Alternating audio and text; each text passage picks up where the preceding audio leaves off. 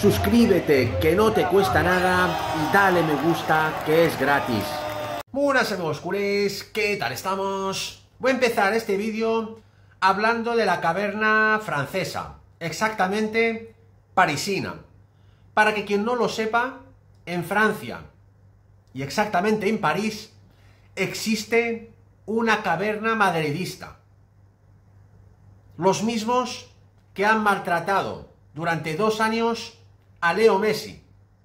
O sea, esa caverna francesa son los mismos, o se comportan de la misma manera, que la caverna de aquí de España. Son de Real Madrid y anticulés. Y ahora mismo se están aprovechando de la derrota del Paris Saint-Germain en Champions por cuatro goles a uno para meterse eh, con Luis Enrique y echarle toda la mierda que existe en París. Vamos a por ello. Pues bien, el peor PSG desde la remontada afirma la caverna francesa. Luis Enrique firmó en Newcastle la segunda peor derrota de la historia del PSG en Champions. La primera fue el 6 a 1 ante el Barça en el 2017. El destino quiso que Luis Enrique firmara en Newcastle este miércoles cuatro goles a uno la segunda mayor derrota de la historia del PSG en la Champions League. La primera también le pilló como protagonista, pero en el lado opuesto, ya que el Barcelona en el 2017 le endosó un 6 a 1 al conjunto parisino en los octavos de la Champions League, que firmó una de las mayores remontadas de la máxima competición continental. La tercera fue ante el Chelsea en el 2003 por 3 goles a 0 en un gran partido de Drogba. La debacle en Inglaterra, que Luis Enrique definió después como una derrota poco importante, entró en la historia negra del Paris Saint-Germain, con un torneo que le ha provocado pesadillas a lo largo de la última década. En Newcastle fue muy superior, dominó prácticamente todos los detalles y expuso las carencias defensivas de un proyecto que todavía está en construcción, pero que el tiempo, muy limitado, no le va a dar mayor margen de error. El 4 a 1 contra el Magbies es además el primer partido que pierde el PSG en la fase de grupos de la Champions League desde noviembre del 2021, cuando se inclinó por dos goles a uno en el Etihad ante el Manchester City. También la segunda mayor goleada que recibe desde que Qatar asumiera las riendas del club. Solo superada por el mencionado 6 goles a 1 del Barcelona la temporada 2016-2017.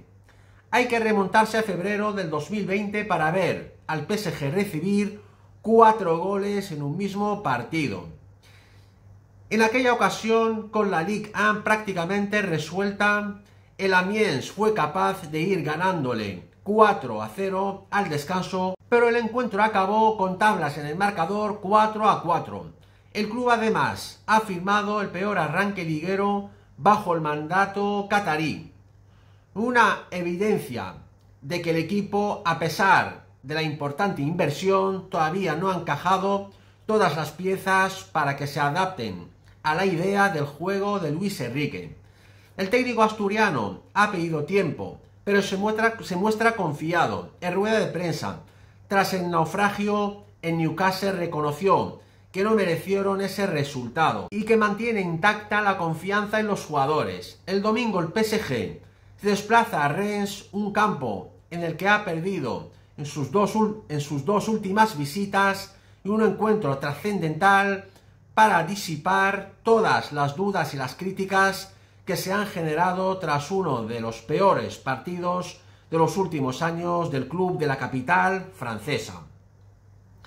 Fuertes críticas a Luis Enrique. La hecatombe del PSG Newcastle no ha eximido a Luis Enrique de las críticas por parte de distintos medios franceses, de la caverna obviamente. Daniel Herriolo, periodista y un famoso medio francés de la caverna, atizó al ex seleccionador español en el programa After Food, nadie se imaginaba que lo iba a volver a hacer. ¿Qué equipo de Europa juega así? Este sistema es una mierda, es una basura. Nadie juega así. Nos manda joder a todos diciendo, tengo razón porque soy un genio.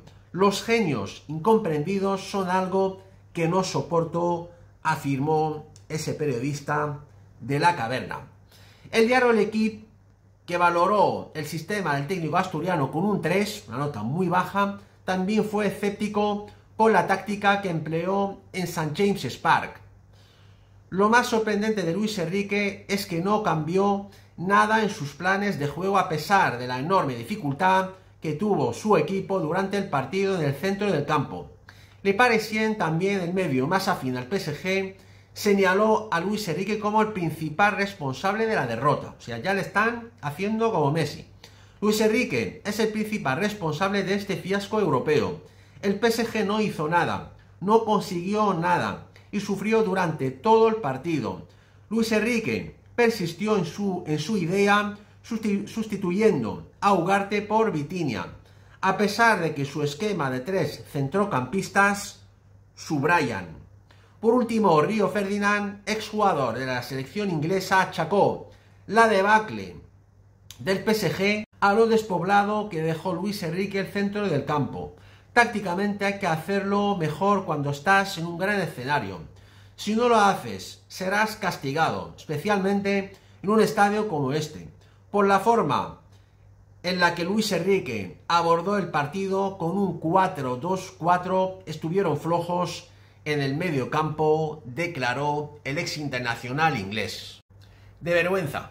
Lo mismo que han estado haciendo con Messi, lo van a hacer este año con Lucho la caverna francesa. Pero lo que está claro que Luis Enrique tiene un grave problema en el centro del campo. Le falta un centrocampista top que pueda generar mucho juego y sobre todo que dé asistencias a jugadores como Kylian Mbappé, Colomboani y también Ousmane Dembélé. En referente a actualidad del Barcelona, por el seleccionador nacional de la Fuente ha convocado a Valde, Lamin Yamal, Farran Torres y Gaby para los partidos ante Escocia y Noruega. Y ahora vamos con el temazo principal, bombazo de última hora desde París. Una fuente gala muy importante y cercana al PSG acaba de informar que el Paris Saint-Germain va a pagar 100 millones de euros por un crack del Barcelona en el próximo mes de enero. Luis Enrique tiene graves problemas en el centro del campo del PSG y con el fichaje de este crack del Barcelona, el entrenador asturiano espera solucionar definitivamente este gran problema que tiene su equipo. La misma fuente asegura que Lucho ya ha convencido a este crack del Barcelona para que esté a sus órdenes en el próximo mes de enero. Este crack del Barça es nada más y nada menos, atención, que el canario Pedri. Y la misma fuente va a más, afirma que ya hay total acuerdo entre Barça y PSG por el traspaso de Pedri que se va a fijar finalmente en una cifra que supera los 100 millones de euros. Estaremos atentos a los acontecimientos. Esta ha sido mi grandísima noticia de hoy, amigos culés. No os olvidéis suscribirse a mi canal, que no os cuesta nada. Pulsar un like como siempre. Y dejarme comentarios para cambiar opiniones. Muchas gracias. Forza Barça por siempre. Vamos a por todas. Y nos vemos muy pronto en mi próximo vídeo. ¡Vamos!